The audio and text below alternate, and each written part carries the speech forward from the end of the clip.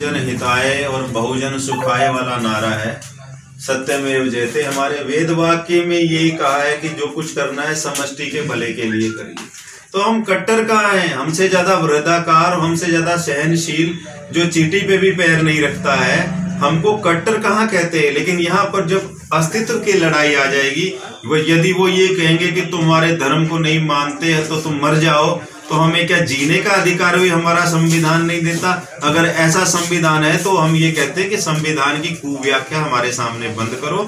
और जैसे आपने हमारे से प्रश्न पूछा कि हिंदू कट्टर हो गया, हम इस प्रश्न पे भी प्रश्न चिन्ह चिन्ह लगाते हैं कि क्या यदि आत्मरक्षा को हम कट्टर होना कहते हैं तो हम इसको स्वीकारते हैं और ये हमारी मजबूरी है और हमें होना पड़ेगा और हम हो गए हैं और आगे और ज़्यादा होंगे। नेपाल और भारत के बीच में जो आसपास लोग रह रहे हैं, उनका क्या विचार है? किस प्रकार की उनकी आचार विचार है भारत के प्रति और क्या उनका हिंदुत्व के प्रति रवैया है? और नेपाल के क्षेत्रीय जो बॉर्डर एरिया के लोग हैं उनका हिंदुत्व हिंदुओं के प्रति क्या व्यवहार है?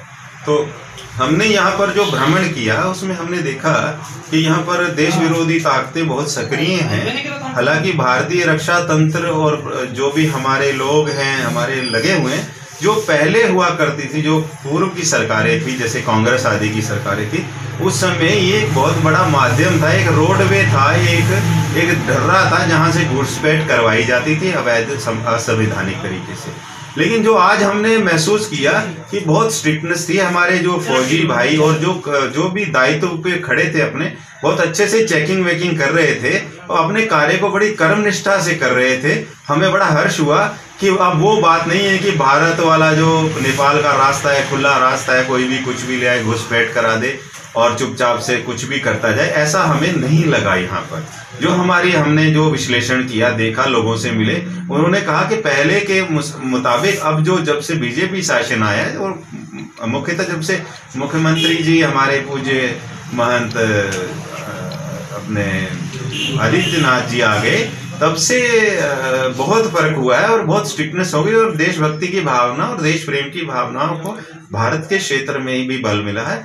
और साथ साथ में जो गोरखपुर की साइड में और जो बॉर्डर एरिया लगते हैं नेपाल के, वहाँ पर भी परिवर्तन धीरे धीरे आ रहा है। लेकिन नेपाल में मुख्यतः परिवर्तन तभी आएगा जब जनमानस सच में मुखर होकर एक बड़ा आंदोलन करेगा, तब वहाँ राजशाही आएगी, तभी हिंदुत्व की रक्षा होगी। और हमारे भारत में जब बीजेपी सरकार आएगी तो ही हिंदुत्व की रक्षा होगी। और हिंदुत्व विहीन देश जो है, वो कोई ना कोई तान बनेगा, और वो अफ़गानिस्तान बनेगा या तालिबान बनेगा। तो सचेत हो जाएँ, हो ना हो, कि हमें किताबें सिर पे रख के भागना हो, हमें बहन बेटियाँ छोड़ के भागना हो अपने ही देश से, उसके लिए यदि हमें कुछ चीज़ों को नज़रअंदाज करके भी हमें बीजेपी सत्ता और शासन को को वापस लाना हो तो हम आपसे यही आग्रह करेंगे कि गेरुआ और केसरिया रंग आपसे ये आज मांग रहा है। हम भिक्षा मांग रहे हैं देश धर्म की कि आप बीजेपी को सफल करिए ताकि देश और धर्म की